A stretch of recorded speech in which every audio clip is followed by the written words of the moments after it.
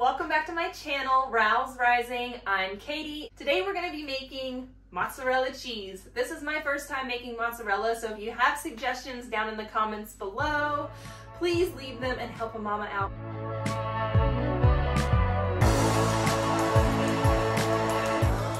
So I dove right in after reading these instructions about 10 different times, and I finally felt confident enough to tackle the mozzarella. But I have a few concerns about the end product and I will get to that at the end of this video. But in the meantime, see if I can get it out of here. This is my ball of mozzarella. So we are going to use this mozzarella and make some focaccia or maybe we're gonna make some pizza. I don't know yet. You're gonna have to stay tuned and see what we're gonna make with it. Right now it's just sitting here in this saltwater brine and it's been sitting in here since yesterday and that's just to keep it nice and salty and preserved. I do want to use this up within the next week. And the same with the ricotta that I am currently making back here. I'm going to want to use that up in a week as well.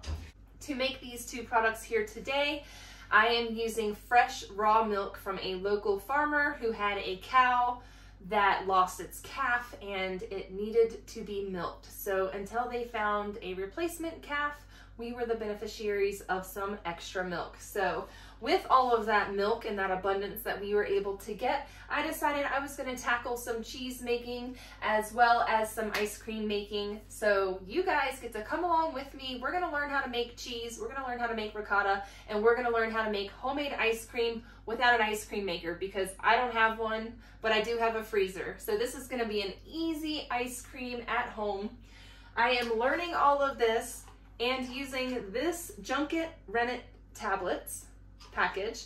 It has instructions to make all of these delicious, delicious products. So everything from homemade custards to different kinds of cheeses, hard cheeses. I'm not diving into that today, but I am making mozzarella and I am making this uh, ricotta.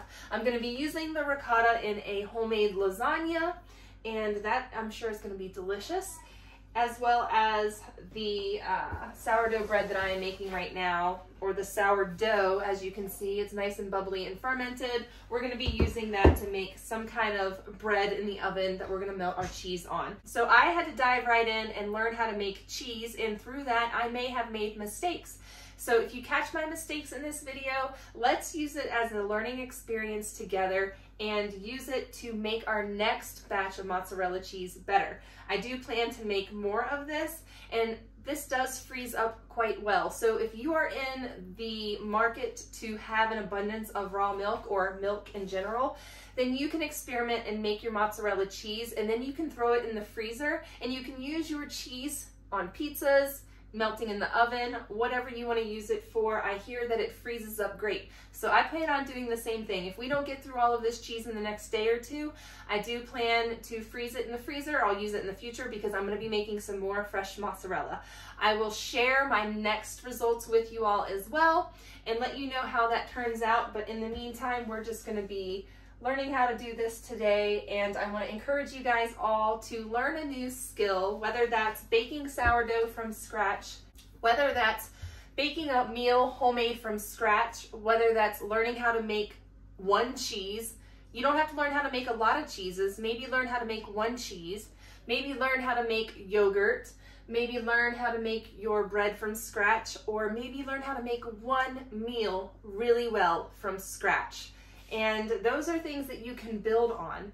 So that's what I've been doing over the last 10 years. I've just been learning one skill upon the next skill, upon the next skill, and I have learned to perfect those along the way in my own form of perfection. I have learned to improve those skills and make the best of those skills so that I can produce products for my family like sourdough bread made from scratch. If I don't have yeast, I know that I can make a leaven with flour and water and I can make sourdough bread.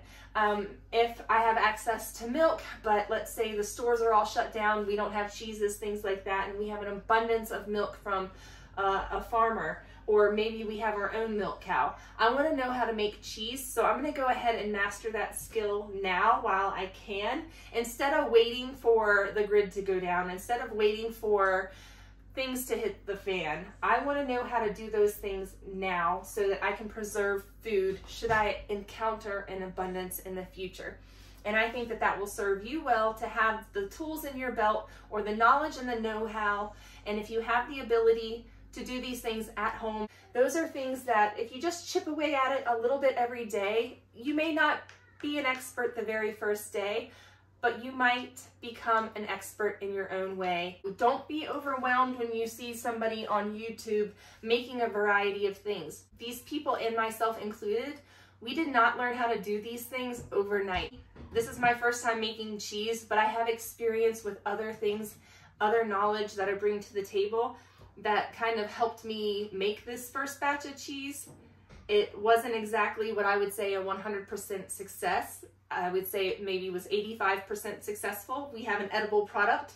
Whether or not it's a true mozzarella, I that has is yet to be determined. Um, but every little bit that we can do every single day to improve our skill set as a homemaker is going to improve our family's life and our uh, our ability to thrive should there be a situation that we need these skills. Plus, how delicious is it that you can make homemade mozzarella? Something you can be proud of. Without keeping you waiting any longer, let's make some mozzarella.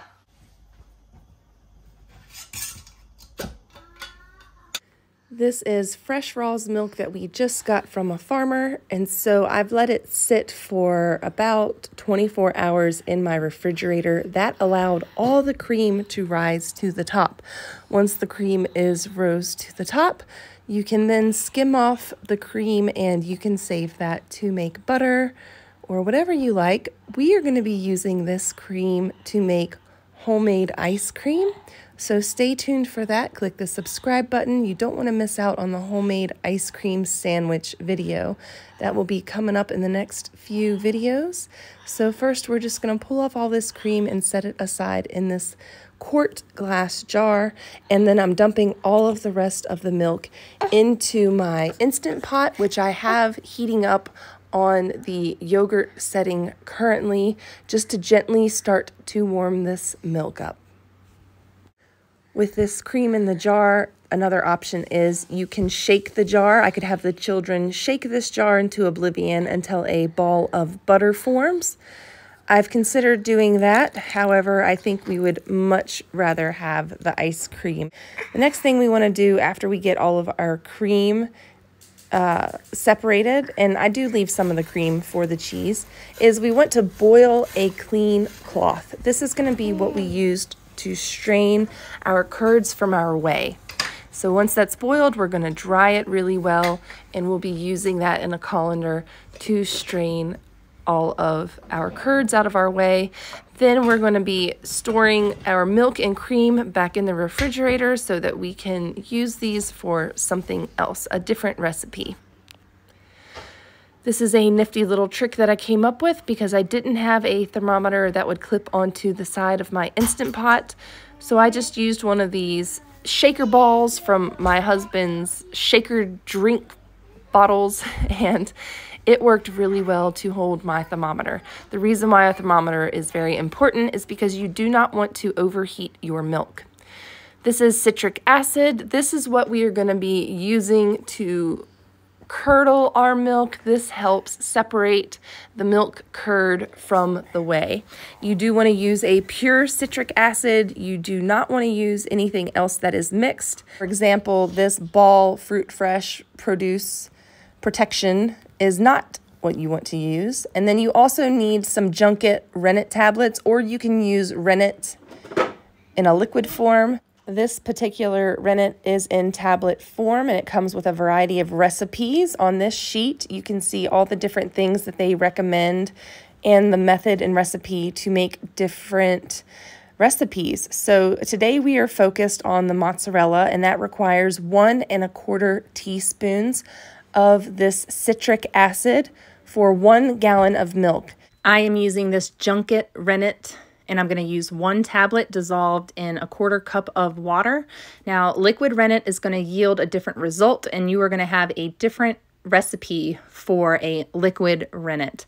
So for this recipe, we are using the rennet tablets and we want to make sure that's dissolved. Once we get our milk warmed up to about 88 degrees Fahrenheit, we are going to add the citric acid and we're going to stir the milk for about 30 seconds. And once it is well incorporated, we are going to remove the milk from the heat and then we're going to add our dissolved rennet tablet and we're going to stir again for about 20 seconds. And then we are going to allow this to sit on the countertop for one and a half to two hours completely undisturbed so that all the curd can join together.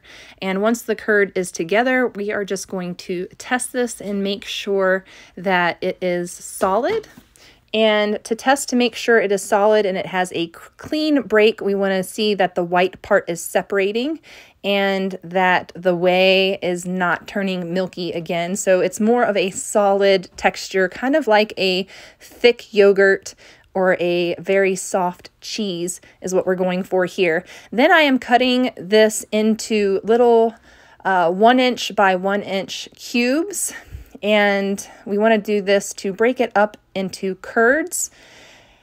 Then we're going to rewarm this and help the curds separate from the whey a little better after we get it all sliced up. So the method to slicing is to cut one inch apart in one direction and then turn it 45 degrees and cut one inch across in a new section. And that yields these little one by one inch cubes that are gonna be our curds.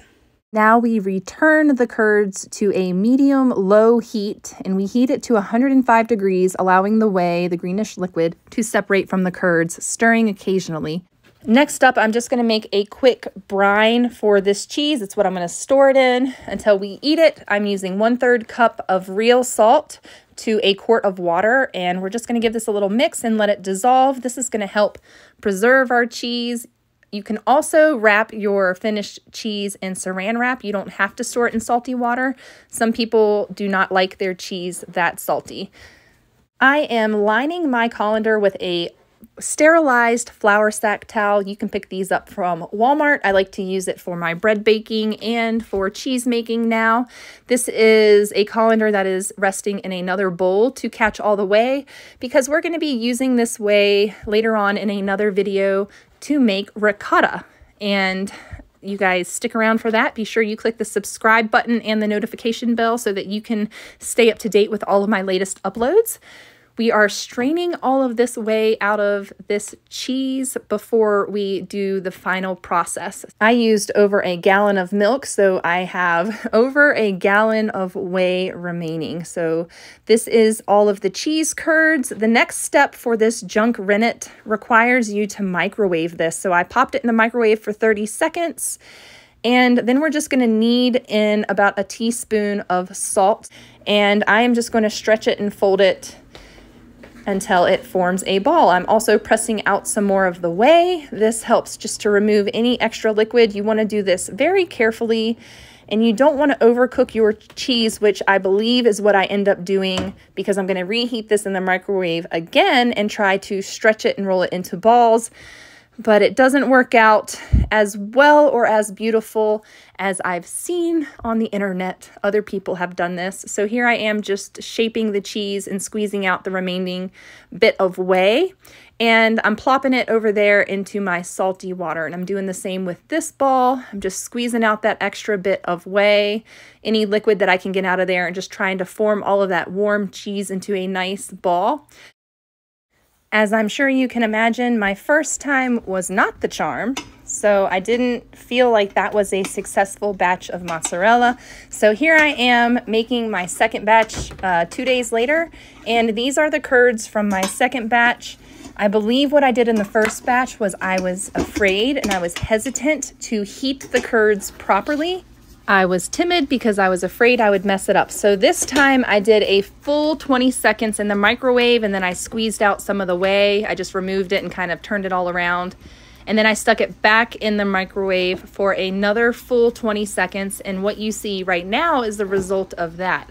So this time I am adding about a teaspoon of salt into my mozzarella. I probably did three quarters of a teaspoon. I didn't want it to be too salty.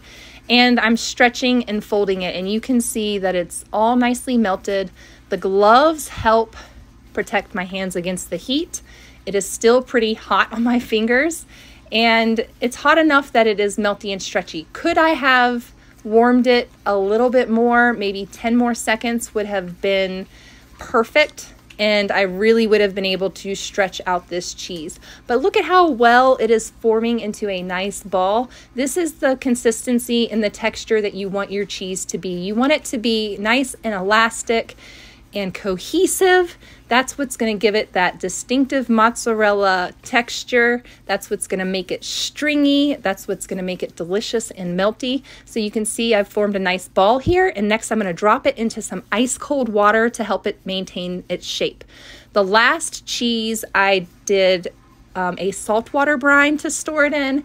This one, I'm just going to pop it into the ice water. And then once it's maintained its shape. Once it has cooled completely, I'm going to wrap it in saran wrap and save it for the focaccia that we're going to be making in my next video. So today what we're going to be doing is making lasagna.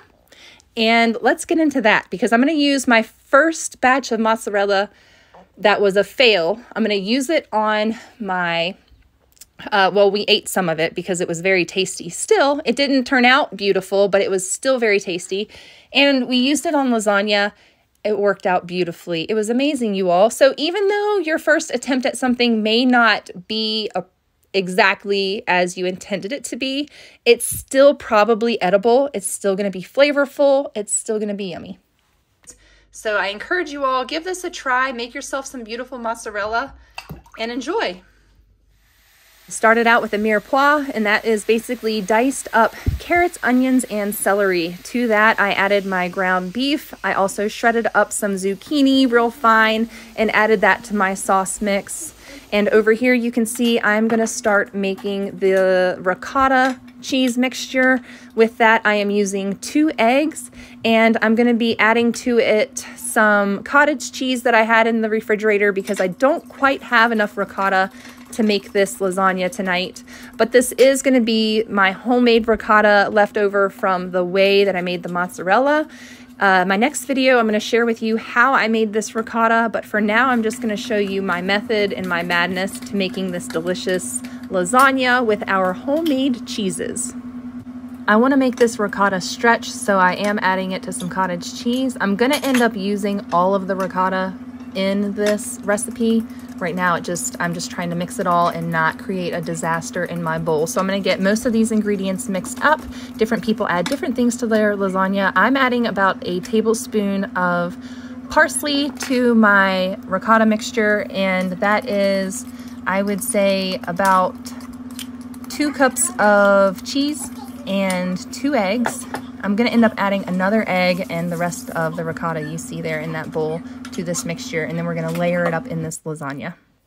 If you've never made lasagna before or if you haven't made it before with noodles that are uncooked, I highly recommend it because, well, it saves dishes and watching a boiling pot and all the things that come with boiling pots of water that I just don't want to deal with right now. So I'm throwing these in there uncooked and I am layering the noodles between sauce. That way the sauce and all the juices from the sauce cook the noodles and then I'm going to put the ricotta on top and then I'm going to put another layer of sauce and then another layer of noodles, another layer of sauce, another layer of ricotta, cottage cheese or cheese mixture we can call it. We're just going to keep doing that until this pan is full. I have a very chunky sauce, so it's not going to take long to fill up this pan. And then we're going to top it all with the shredded up mozzarella cheese that I made that was not made properly, I would say, but it's still melted and made a really delicious topping for this lasagna. So again, I encourage you to try it. And if it doesn't if it is a fail or it appears to be a fail, I promise you it's going to turn out fine and it, you can still use it for cooking and you'll get better we can go back and analyze what I did here. I probably didn't microwave it long enough. Um, I'm not really sure what happened, or maybe I cooked it too long. When you use this junk rennet, it requires you to microwave, and we just bought a microwave in the last year. We haven't had a microwave in our home for 10 years, And this rennet I've had for a while and I'm able to use it now because we have a microwave. But liquid rennet or a different type of rennet, you can actually put the cheese back into the brine or into the whey and heat it that way and then stretch it and cook it um, and form your mozzarella that way. But the way that I did it was using the microwave, and I'm so scared of using the microwave that I don't know if I even used the microwave correctly to heat this cheese. I know that sounds crazy bizarre, but today when I remade the mozzarella, and you saw that earlier in this video, you saw my second batch, it turned out really well. And I did 20 seconds in the microwave, and then I kind of mixed it a little bit, and then I did 20 seconds more. I added my salt, I kneaded it a little bit, and then I did 10 seconds more, and that made the cheese perfect. The lasagna goes into a preheated 375 degree oven. I put it in there for one hour because my noodles were not cooked. And after an hour, I removed the parchment paper and the foil.